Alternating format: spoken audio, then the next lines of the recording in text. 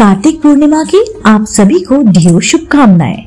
कब है कार्तिक पूर्णिमा का व्रत? 26 को या फिर 27 को।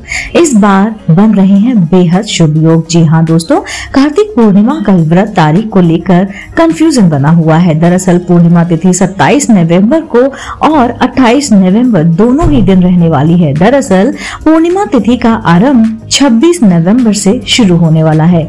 आइए जानते हैं पूर्णिमा तिथि का महत्व और पूजा विधि। कार्तिक माह की शुक्ल पक्ष की पूर्णिमा तिथि को कार्तिक पूर्णिमा मनाई जाती है।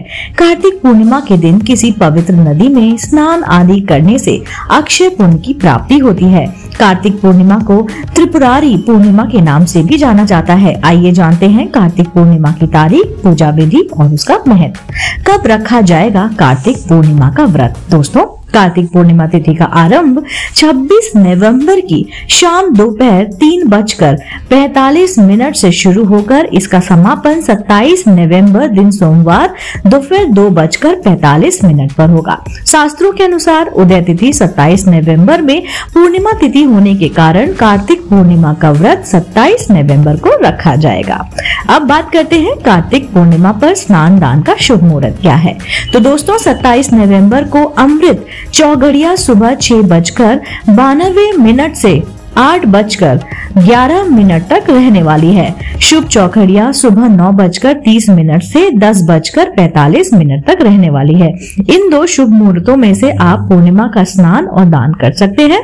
कार्तिक पूर्णिमा पर दो शुभ योग भी बन रहे हैं। जी हाँ दरअसल 27 नवंबर दिन सोमवार के दिन सर्वदा सिद्ध योग और शिव योग का संयोग होने वाला है।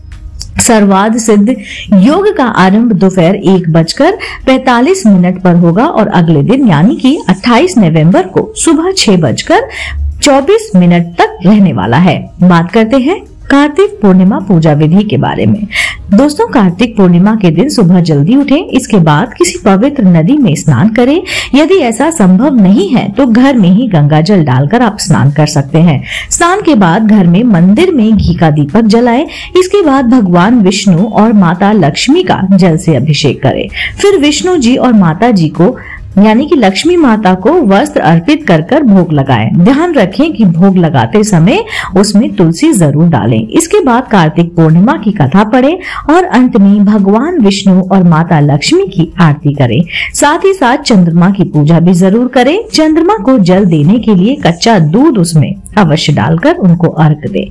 दोस्तों, ये थी संपूर्ण कार्तिक पूर्णिमा की जानकारी कि कार्तिक पूर्णिमा कब है और किस दिन है और कौन से दो बेहद शुभ सहयोग बन रहे हैं। दोस्तों, उम्मीद करती हूँ ये जानकारी आपको ज़रूर पसंद आई होगी। अगर आप ऐसे ही धार्मिक पौराणिक कहानी कथाएँ सुनना पसंद करते हैं तो आप मेरे चैनल आध्यात्मिक कहानियों को तुरंत से लाइक कीजिए, शेयर कीजिए और सब्सक्राइब कीजिए। मैं आपको मिलती हूँ जल्दी इसी चैनल पर नई रोचक जानकारी और कहानी के साथ। आप देख रहे थे आपका अपना पसंदीदा यूट्यूब चैनल अध्यात्मिक कहानियाँ।